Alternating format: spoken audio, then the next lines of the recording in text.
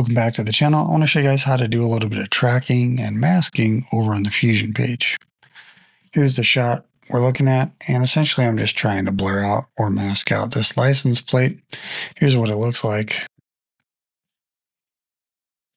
So let's go ahead and walk you through and show you how we did it. I'll go ahead and start from scratch here. We have media in. We're going to make a planar tracker to track the on-screen action. So our mask will match that movement. So I'm going to select media in right here and hit shift space. And I'm going to type in planar tracker. And since we had media one selected, it put it right next to it. So with this selected, we now need to draw on screen where we want the action to track at. So I'll go ahead and just grab some points off this car this doesn't have to be precision here. We're just having it get some tracking data from some of the high contrast points. So now that that's closed up, it's ready to go. What we want to do is we're parked on the first frame. We have to tell this tracker where the reference frame needs to be. So we're going to match this frame number here by hitting set. Now that's letting it know start from this frame. That's our starting reference frame. And we're going to leave it on point and perspective the output will be background and we're just tracking the Luma channel right now. That's why anything with a high contrast point is good for tracking. And then to track it, since we're at the start of the clip, we're just going to choose track to end. So I'll hit that. You'll see this box turn green. We'll get some white dots in there where it gets some contrast points and follows the movement. And this one has some kind of crazy impact when the car hits. So let's see how well this track did when we give it something to move. So once we've made that, this is the tracker. We have to send that tracking data out to make it usable with other objects we're going to use to track. So down here at the bottom, it says create planar transform. So I'm going to click that and that makes a transform right up here. And what we're going to do is pull this tracker out I'm just going to select it and hit shift. That takes it out of the pipeline and then let go. I'll move that over to here. We don't need it anymore. And then we want to add this planar transform inline and then add a background and a few things on top of it. So here is the output box. I'll go ahead and grab that and put that over here. And that'll automatically make a merge for us. You can also just grab a merge from up here and add that in. But essentially, media one out, we're getting this yellow output is the just output into the input of the merge. And that merge output is going into the media out back to the timeline. And this green line is the foreground input of our merge. So anything we put over top here will lay over top of our main image. So right now we have a planar transform, which has tracking data, but we don't have anything else around here. So we're going to need a background and we're going to need a polygon mask. So to choose backgrounds, this first icon here, I'll click that. And then to add a polygon to it, I'm going to choose it from up here. Choose whichever one you like. I'm going to use polygon. You could use a rectangle as well. I'll add that. Now this polygon basically is going to tell this background where to constrain to. Right now, if we look at the background and we remove this polygon, the background is just one black background. And the polygon doesn't have anything drawn on it yet, so let's go ahead and do that. We'll grab media out and look at it so I can see what's on the screen. We'll choose polygon, so we're working in that tool. And now this is where your selection does matter.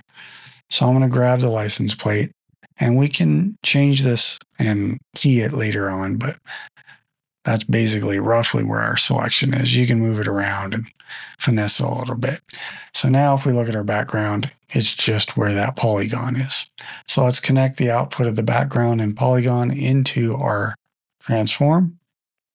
And if we go media out, now we have this sitting here, our background and our polygon. And let's see how well it tracks with our tracking data.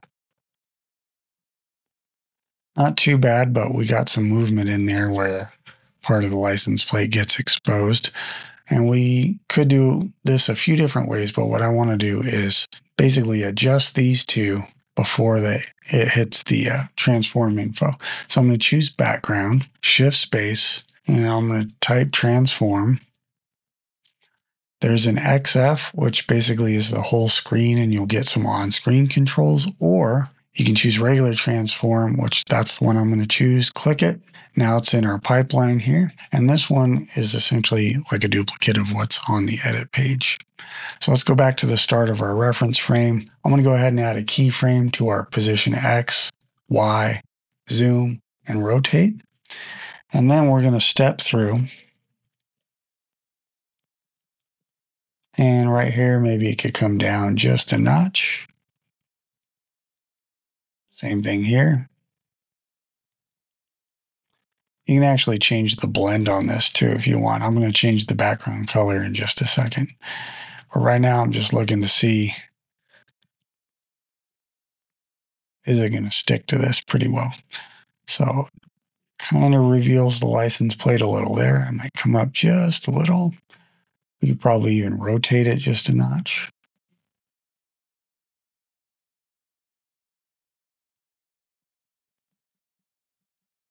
Yeah, right there is where it really kind of bounces back and then back down again. Okay, so that's pretty much the track. I'm going to change the color of the background by clicking on the background and clicking the color and just sliding it up a little bit so we're not looking at just pure black. And we can soften the edges of this. We zoom in here. We can grab the polygon and there's a soft edge right here. Kind of helps it blend in just a bit smoother with the license plate. And now if we hit Command F, we'll zoom back to full screen. I will hit back to the start of the clip here and let's look at it. And We'll put media 2 in our viewer here so we don't have those on-screen overlay.